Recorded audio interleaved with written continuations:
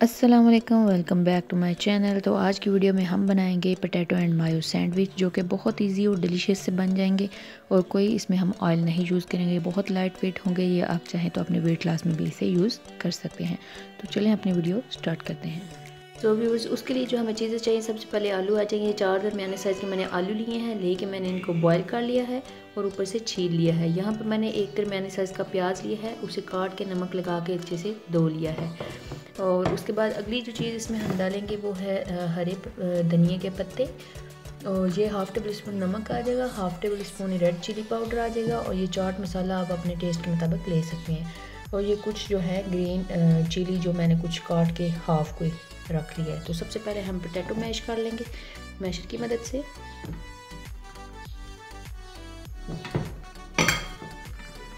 तो इसी तरह से मैं सारे कर लेती हूँ।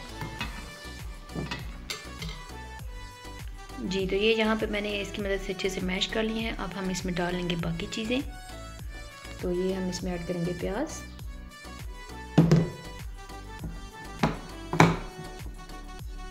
ग्रीन चिली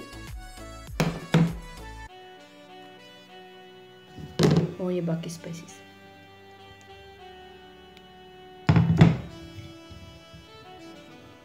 इसकी जो फिलिंग है वो हम बहुत ही सिंपल सी रखेंगे। तो इन सबको हम कर लेंगे अच्छे से मिक्स किसी भी स्पून की मदद से। ट्राई करें कि स्पून ज़रा छोटी हो तो उससे अच्छे से मिक्स हो जाएँगे। तो इनको अच्छे से आप मिक्स कर लें।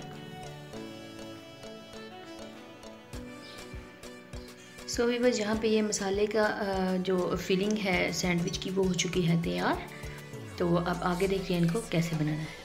मैंने बताया आज हम मायो पोटैटो सैंडविच बनाएँगे तो ये मैंने ब्रेड स्लाइसेस ले लिए हैं यहाँ पे। फ्रेश वाली आपको अगर वाइट पसंद है तो वो ले लें, ये पसंद है तो ये ले लें। तो इनको मैं काटूँगी नहीं, इनके समेत ही मैं किनारों के बनाऊँगी। तो अगली चीज़ जो चाहिए आ जाएगा वो यंग वाला को मायोनीज़ यहाँ पे मैंने ली है, आपको जो पसंद है आप वो ले लें और साथ में ये मैंने नेशनल की टमाटो केचप ली है तो इन्हें बनाना स्टार्ट करते हैं। तो यहाँ पे एक सिलाई पे मैं केचप स्प्रेड करके लगाऊँगी। और इसी की जो दूसरी स्लाइस होगी, उस पर हम कर लेंगे मायोनीज़ तो इनको किसी भी छुरी की मदद से हम अच्छे से स्प्रेड कर लेंगे इसके ऊपर. तो इन दोनों को आप अच्छे से स्प्रेड कर लें पहले. तो यहाँ पे आप देखें मैंने कैचअप और माइनर स्प्रेड कर लिया है. अब हमने ये जो मसाला बनाया था, इसे उठाएँगे एक स्पून की मदद से और इस पर हम इसकी फीलिंग अच्छे से अप्लाई कर लेंगे. स्पून की मदद से।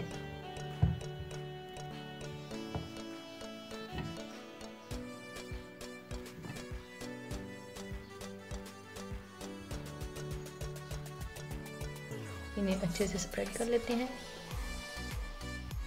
तो आप देखेंगे ये कैसे मायो सैंडविच पटाटो के साथ इतने मज़ेदार और डिलीशियस से बन जाते हैं। आप इन्हें चाहें तो लंच टाइम में टी टाइम में यूज़ करें या फिर आप इन्हें बच्चों के लंच बॉक्स में भी डाल सकते हैं। तो ये हो गया है तैयार। इसमें और हमने कुछ भी नहीं लगाना। इसके बाद हम ये मायोनीज वाला सैंडविच का जो पीस है ब्रेड के ऊपर, इससे कवर कर देंगे इसे।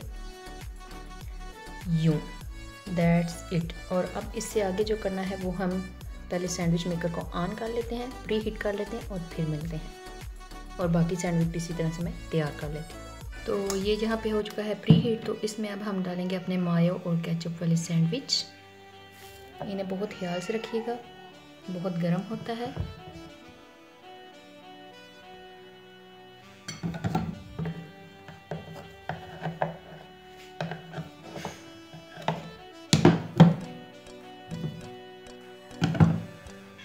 तो अब हम इन्हें कर देंगे ऊपर से कवर, जब तक ये रेडी नहीं हो जाते। और इनके बन जाने का इंतज़ार करते हैं। तो व्यूवर्स यहाँ पे हमारे हो चुके हैं मायो कैचू वाले सैंडविच रेडी तो इन्हें हम अब बाहर निकाल देंगे। किसी भी लकड़ी के चमचे की मदद से निकालें, ये बहुत ज़्यादा गर्म होते हैं। हाथ जलने का खतरा होता है। तो इन्हें मैं निकाल लेती हूँ। देखिए कितना प्यारा कलर आया तो इनको अब हम छुरी की मदद से लेंगे। काट।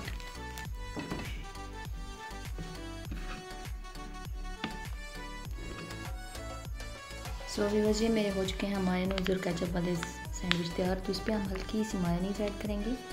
कहीं कहीं पे और थोड़ी सी हम कैचअप ऐड कर लेते हैं। भी जहाँ पर मेरे मायो और कैचअप के सैंडविच हो चुके हैं तैयार। तो अगर आपको मेरी ये वीडियो पसंद आई है तो मेरे चैनल को लाइक शेयर सब्सक्राइब करना मत भूलें। अपना बहुत सारा ख्याल रखिएगा। मिलते हैं नेक्स्ट वीडियो में। तब तक के